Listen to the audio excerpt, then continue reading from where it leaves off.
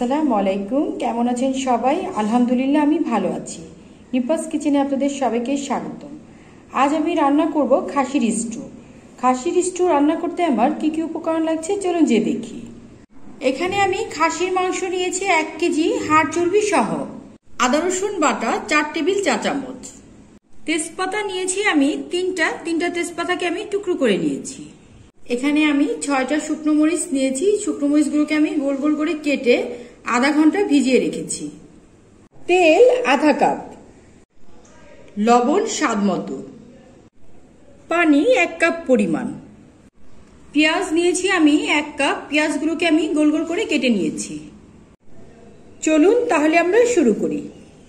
আমি একটা হাঁড়ি নিয়ে নিয়েছি স্টুটা রান্না করার জন্য। হাঁড়ির মধ্যে আমি এক একে দিয়ে দিব মাংসগুলো।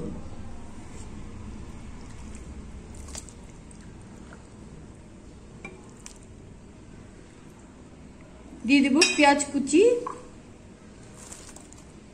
আদা রসুন বাটা, লবণ, তেজপাতা, ভিজিয়ে রাখা শুকনো মরিচ। আর দিয়ে দিব তেল।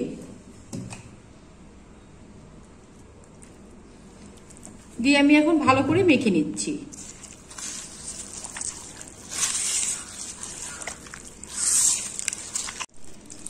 স্টুটা আমার ভালো করে মাখা হয়ে গিয়েছে, এখন আমি দিয়ে দিব পানি।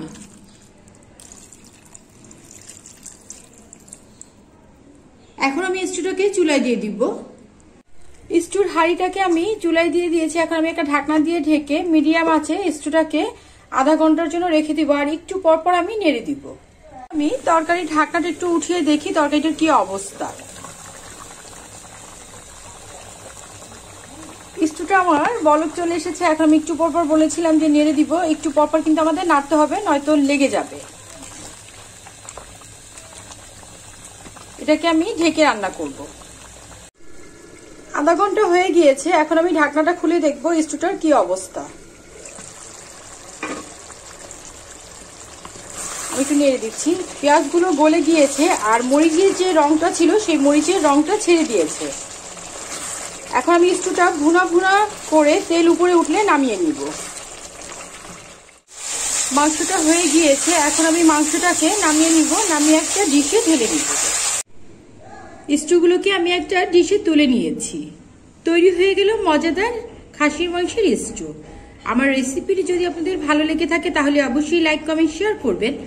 আর যারা এখন পর্যন্ত আমার চ্যানেলটি সাবস্ক্রাইব করেননি, তারা অবশ্যই সাবস্ক্রাইব করবেন। ধন্যবাদ।